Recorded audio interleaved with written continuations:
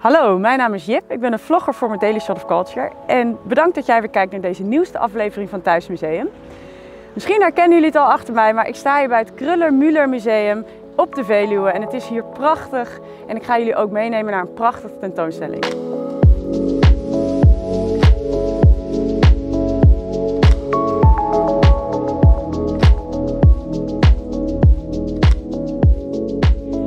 Dit is toch fantastisch dat je bij het Krullenmüller Museum gewoon kunst hebt waar je overheen, onderdoor en op mag lopen. Uh, ik ga jullie vandaag meenemen naar dit prachtige museum waar natuur en kunst zo mooi samenkomen. Je ziet hier grote meesters als Van Gogh, uh, stromingen als de stijl en het futurisme, maar ook hedendaagse kunstenaars. En ja, dit bij elkaar zorgt dat het een van mijn lievelingsmusea is. En vandaag ga ik met jullie vooral kijken naar het futurisme. Een uh, bijzondere kunststroming uit Italië, maar daarover binnen zo meer. Ja, ik ben inmiddels binnen in een heel leeg museum. Het blijft toch gewoon een bijzondere ervaring. En ik heb net al verteld, ik ga vandaag uh, met jullie de futuristische collectie bekijken van het Krullenmüller Museum. En het bijzondere is dat Helene Krullenmüller altijd heeft gezegd dat de futuristische collectie mist in haar kunstcollectie, wat de start was van dit museum. En dat was de aanleiding voor het Krullenmüller Museum om die werken alsnog aan te gaan kopen en dat hebben ze kunnen doen onder andere met de hulp van de Bank Giro Loterij, die de afgelopen negen jaar mede mogelijk heeft gemaakt dat ontzettend veel werken aangekocht kunnen worden om zo die collectie compleet te maken. Nou, het futurisme uh, is afgeleid van het Italiaanse woord futura, wat toekomst betekent.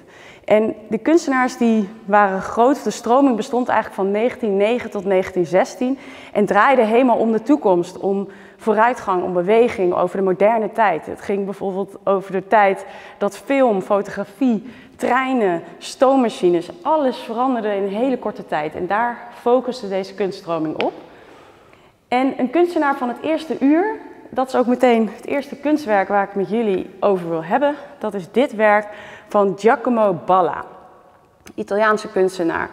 Die rond, dan moet ik even spieken, ja, 1913 heeft hij een rit gemaakt in de zijspan van een motorfiets.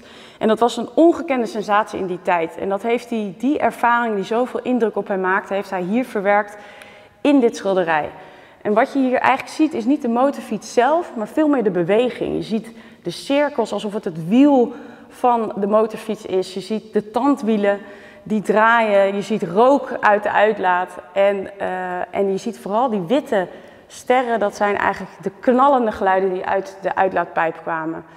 En dit is heel typisch dus voor het futurisme. Want de beweging, de, de sensatie, de kracht straalt hier eigenlijk vanaf. En ja, het is dus ook een Italiaan die, waar de eigenlijk de hele stroming is ontstaan. En ik heb nog een werk van hem. Daar ga ik even naartoe lopen en dan ben ik zo bij jullie terug. Zo. Ook een werk dus van Giacomo Balla. En hij was zo gegrepen door dat futurisme dat hij uh, niet alleen in schilderkunst dat verwerkte, maar ook in eigenlijk interieur en designvoorwerpen. Zoals wat je hier ziet is toch wel echt een fantastisch kamerscherm. En hier heeft hij eigenlijk de beweging en de snelheid van een auto willen weergeven. De auto zelf zie je niet, maar je ziet wel de beweging die de auto maakt in de vorm van deze rode snelheidslijn en die roze soort van bliksemschicht die uh, dwars over dat kamerscherm loopt. Maar ook, uh, ja, je ziet de weg, tenminste zo interpreteer ik het, de, zandweg en de voorbijsnellende achtergrond uh, langs het autoraam. En wat ik zo grappig vind is dat ook hier weer, het is een stilstaand object, maar dat beweging dus overal terugkomt. Ja, ik vind het ook gewoon fantastisch. Dit zou ik wel in mijn huis willen hebben, maar goed. en ook dit en het vorige werk is trouwens uh, aangekocht met behulp van de Bank Giro Loterij. Dan gaan we naar het volgende werk. En dan zijn we aangekomen bij dit prachtige, kleurrijke werk van de kunstenaar Vilmos Huzaar. Die dit schildert nadat hij in 1915 geïntroduceerd wordt met, op het werk van Vincent van Gogh. En die raakt helemaal bevangen en maakt zelfs dit schilderij dus als eerbetoon aan Vincent. En als je goed kijkt, zie je hier een hele abstracte weergave van de zonnebloemen, het iconische onderwerp van de schilderijen, onder andere van Van Gogh. Maar ik vind ook dat je het wel terugziet in het kleurgebruik. Maar verder is het natuurlijk heel ja, futuristisch, weten we nu, en geometrisch weergegeven. En dit is eigenlijk een aanzet tot het latere werk van uh, wanneer hij uh, Theo van Doesburg ontmoet. En samen met hem richt hij nog een paar andere kunstenaars de stijl op, waarin ze uitsluitend in uh, hele geometrische vormen gaan schilderen. Dus dit is een van het werk vlak voordat zijn kunst totaal eigenlijk verandert en er anders uit gaan zien. Al zie je al een beetje een aanzet tot die abstracte vormen in dit werk. Ik vind deze wel echt super mooi. Mocht je het nog niet aan de kleuren zien, dan kan je hier op de originele lijst uit 1915 zien dat het een ode is aan Vincent van Gogh. We gaan door naar de volgende. Ik sta hier voor een prachtige tekening van de Oekraïense kunstenaar Alexander Bogomazov. En hij heeft hier in deze en nog een paar andere tekeningen die ik zo ook laat zien, heeft hij de, ja, het stadse leven van Kiev willen laten zien. Nou, en ook hier weer die bijna voelbare beweging. Deze tram of metro, wat is het, die op je afdendert, of locomotief is het misschien wel, met zijn koplampen die in gezicht schijnen. Um, ja, je wordt er bijna bang van. Hier heb je nog een uh, afbeelding van mensen in een winkelstraat. Eigenlijk geeft hij weer het moderne leven, het moderne stadsleven in Kiev.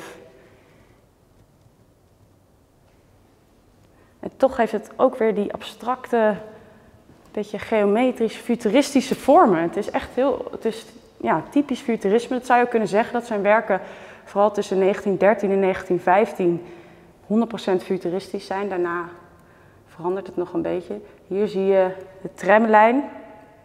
Dat maakte hij in 1914. En je zou kunnen zeggen dat Bogomazov, de, hij is de enige Oekraïense futurist. Hij is heel jong gestorven in 1930 al aan uh, tuberculose. En het Krullenmuller heeft uh, een aantal werken van hem aangekocht. En daarmee zou je kunnen zeggen dat de herwaardering van deze bijzondere kunstenaar op die manier in gang is gezet. Want ja, ik vind het echt prachtig. Het heeft iets heel abstracts, iets heel simpels, maar het integreert me absoluut wel.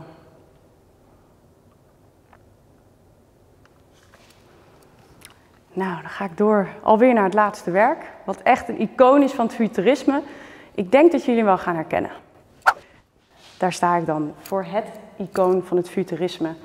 Dit prachtige bronzen standbeeld van de Italiaanse kunstenaar Umberto Boccioni. En wat je hier ziet is een lopend, bewegend figuur. Maar het ging hem niet zozeer om het lichaam, maar veel meer om het weergeven van de beweging. En ik vind echt dat dat gelukt is. Het lijkt toch alsof het ieder moment nog een stap kan zetten.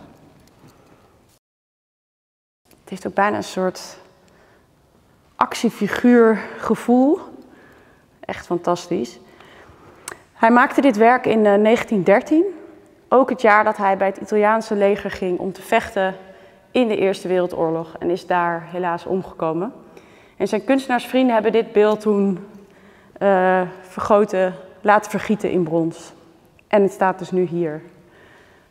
Ik weet niet of hij had kunnen bedenken dat zijn werk het icoon van het futurisme zou zijn. Nou, en dit was dan alweer de laatste van de werken die ik met jullie wil bespreken. Ik vond het fantastisch. Het is grappig, want ik had natuurlijk wel van het futurisme gehoord, maar om het dan nu zo bij elkaar te zien, zie je eigenlijk hoe typisch het is. En ik vind het ook bijzonder dat zo'n stroming, die eigenlijk maar kort heeft geduurd, maar zeven jaar, zoveel impact heeft gehad en heel erg het tijdsbeeld weergeeft. Het was een tijd waarin alles veranderde, waarin er heel veel innovatie was, het hele leven op zijn kop stond. En dat dat dan vertaald wordt in zo'n kunststroming met prachtige werken ook. Ja, heel cool om te zien. Um, ja, het, uh, de tentoonstelling staat klaar, zoals jullie kunnen zien. Dus ik zou zeggen, uh, ik hoop als jullie dit zien, de vlog, dat het museum ook weer open is. Dus check de website van het Krullenmuller om uh, de actuele informatie te vinden over tickets en eventueel tijdslot. Dan wil ik jullie nu bedanken voor het kijken. Vergeet je niet te abonneren op ons YouTube kanaal en ik hoop jullie snel te zien bij een volgend thuismuseum. Doei!